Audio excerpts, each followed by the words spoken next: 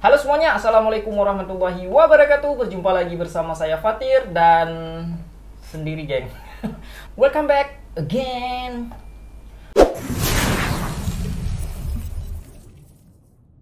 Oke geng, saya mohon maaf bagi teman-teman semuanya. Mungkin hari ini kita reactionnya sendiri dulu Dikarenakan istri saya lagi mengandung dan lagi menjaga buah hati juga ya Yaitu si Naira jadi di Aceh ini sangat susah mencari babysitter ya. Macam di luar-luar negara tuh mudah.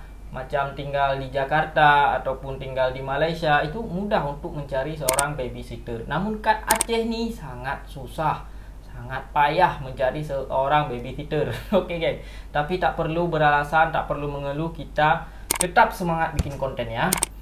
Oke okay, guys, hari ini kita bakalan bacakan tajuk apa nih? Tajuknya adalah Kuala Lumpur. Oh, sebelum tuh teman-teman semuanya, bagi korang yang ingin saya reaction ataupun istri saya reaction konten-konten tentang Malaysia, korang semua boleh kirim ide kalian ataupun link videonya di Instagram Fatir YouTuber. Nanti kita akan pilih dan akan reaction semua konten yang korang request. Oke, langsung aja kita putarkan video yang pertama. Tajuknya adalah Kuala Lumpur, bandar raya bertaraf dunia yang menakjubkan.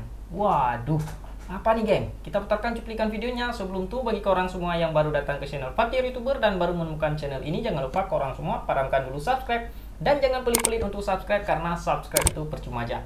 Oke langsung aja nih kita putarkan cuplikan videonya 1, 2, 3 Play. Assalamualaikum warahmatullahi wabarakatuh. Waalaikumsalam warahmatullahi wabarakatuh. Ini dari channel YouTube-nya Amir Putra ya. Channel Amir Putra dan alhamdulillah pada hari ini siapa?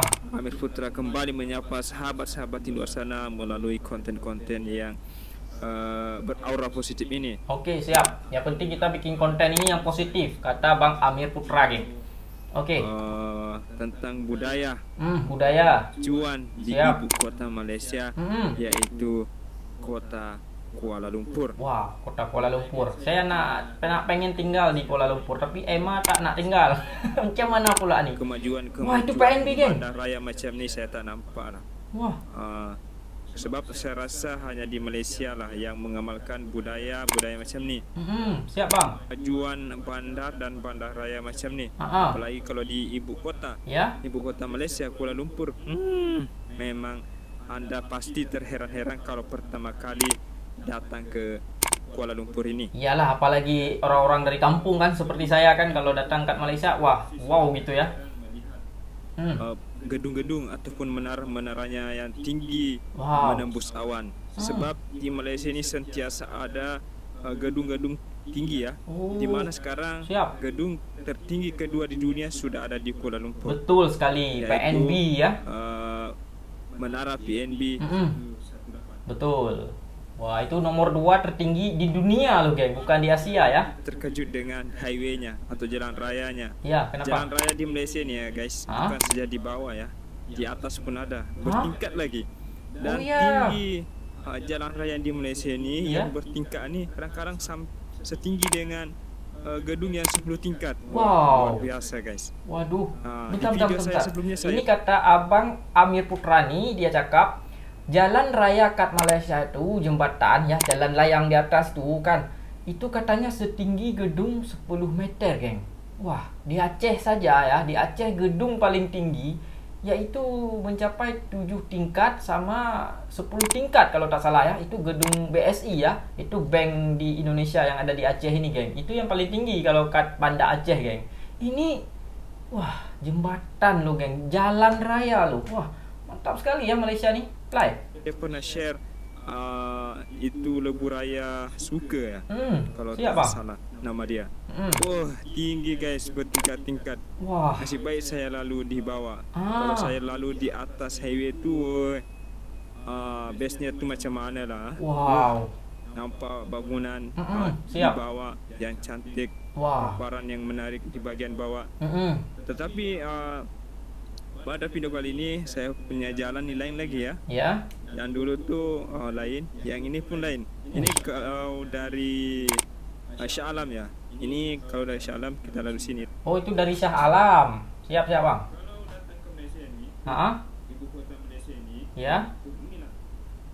anda jangan terkejut ya sebab inilah Malaysia sentiasa maju membangun dan paling uh, selamat di sini kebanyakan di highway ini ada jejantasnya ya. Wow. Jejantas untuk pejalan kaki mm-hmm. dan ada juga jejantas untuk naik motor. Oh, untuk motosikal. Jadi uh, kuranglah kemalangan.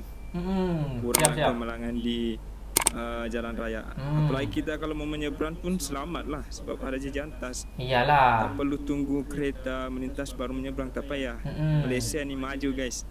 Malaysia ni serba uh, lengkap dengan fasilitas ataupun prasarananya. Ha seperti Masya Allah luar biasa ya Malaysia ya. Tuh jalan rayanya loh. Wow. Oh iya betul abang ni cakap. Ada jembatan setinggi 10 tingkat loh geng. Ini tinggi sangat sangat loh geng. Wow. Kuala Lumpur. Ah, di Malaysia lah boleh ah. nampak bangunan-bangunan macam ni. Siap. Kalau di negara luar saya rasa tak pastilah. Hmm. Sebab di Malaysia ni ya kita tahulah perkembangan dan kemajuannya semakin hari semakin menjadi-jadi. Betul. Masa gedung tertinggi saja yang nomor dua ada di Malaysia kan parah ini Malaysia.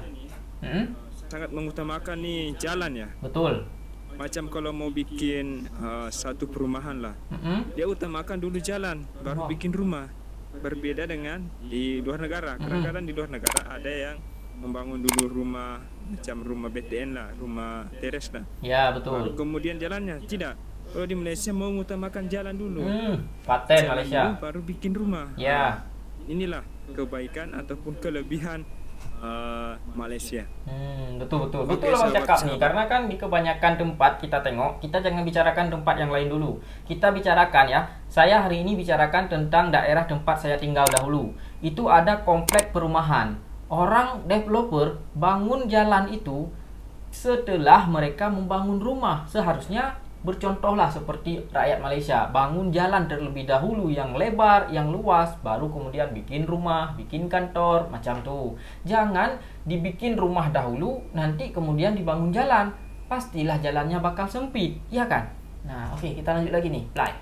Aku yang baru melihat video ini, channel hmm. ini, Siap. Tolong supportnya ya dengan subscribe, like. Nah, jangan lupa di subscribe juga geng ya akun Abang Amir Putra ini. Semoga bisa jumpa juga sama Abang Amir ini ya. Mantap juga videonya nih.